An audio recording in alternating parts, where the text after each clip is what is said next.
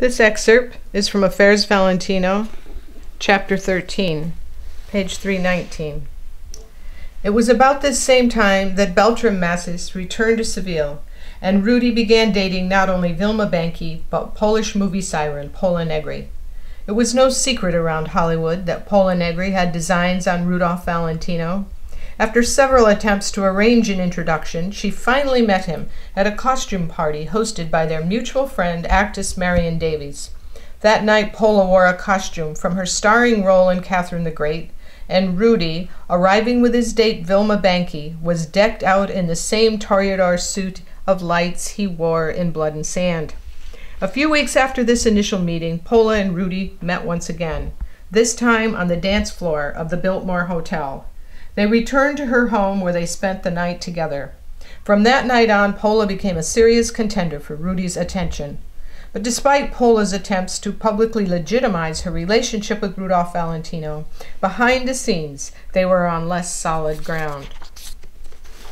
Although Pola Negri hoped to become Mrs. Rudolph Valentino number three, when she began dating Rudy, he was still married to Natasha. George knew Rudy had no intentions of committing to a serious relationship with any one woman at that point in his life. He formed this opinion after observing Rudy's concurrent affairs with Pola Negri and actress Mae Murray. George was not only eyewitness to Rudy's volatile relationship with Pola Negri, but to a few of his intimate exchanges with Mae Murray.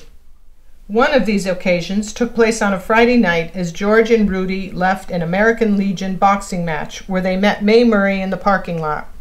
Mae Murray was still married to director Robert Leonard at the time, but their marriage was on the rocks.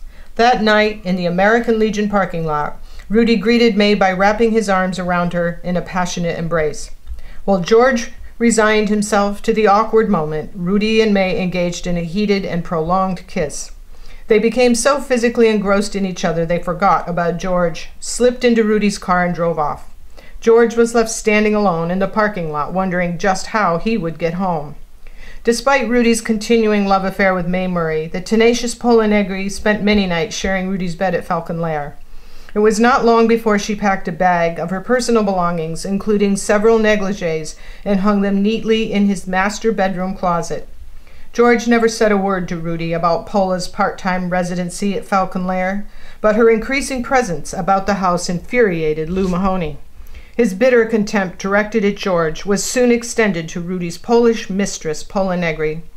Lou was not comfortable with the many changes in the post Natasha household and still believed Mrs. Valentino would soon return home, reconcile with her husband, and restore order.